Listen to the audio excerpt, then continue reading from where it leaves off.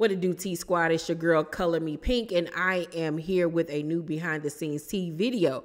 So, you guys know last week I did a video on former Real Housewives of Atlanta star Falynn Guobadia's um, baby daddy, now ex boyfriend, ex fiance, sitting down doing an interview where he called her a groomer. He said that she groomed him. And I was saying in the video that he used the wrong verbiage. I said manipulative, yes, maybe, but groomed, no. Well, after that interview, Falynn popped up on her social media page wearing a pink crop, I mean, a lavender prop, crop top that read the groomer. and she currently has these shirts on sale if anybody wants to buy them. I thought it was very tongue in cheek and funny. Don't really know if other people are going to buy them. Well, I guess after receiving backlash for the interview, Jaylan has now retracted his statement and has come with this.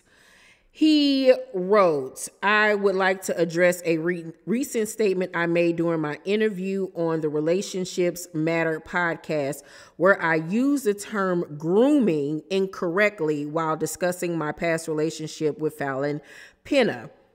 My choice of words was a mistake, and I want to set the record straight.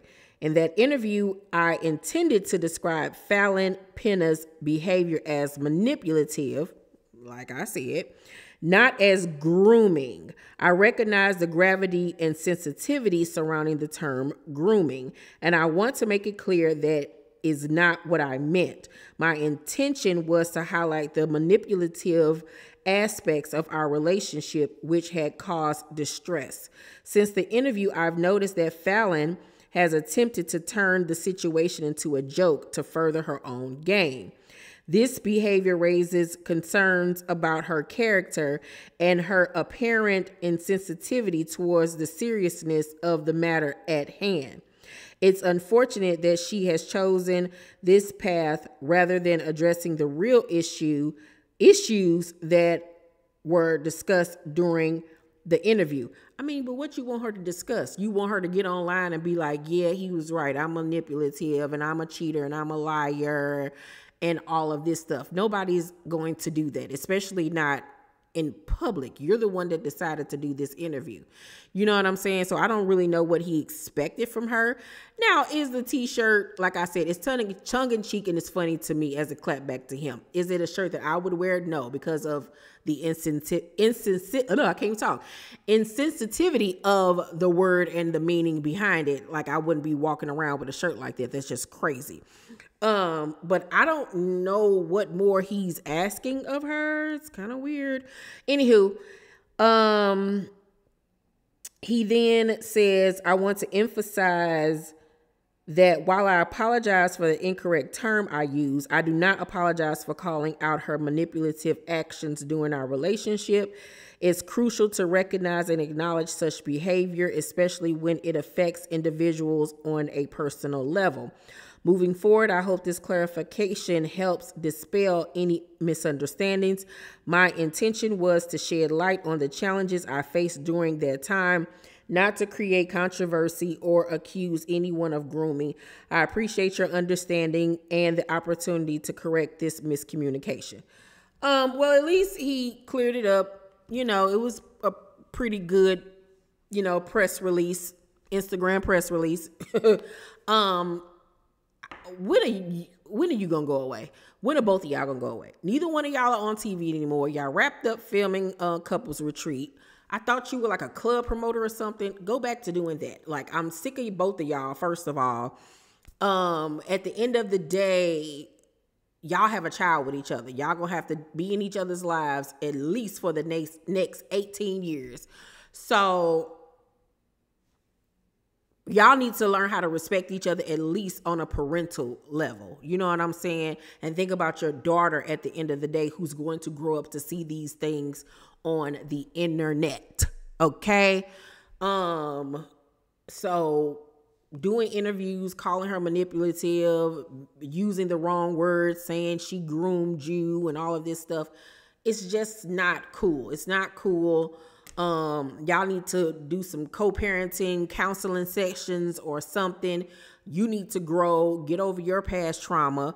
She needs to grow and get over her past trauma. Y'all were two broken people trying to come together and be whole and it wasn't going to work because the the edges is jagged and it never was going to fit absolutely not. Y'all had a beautiful baby out of the situation and she needs to be the first priority for the both of you okay?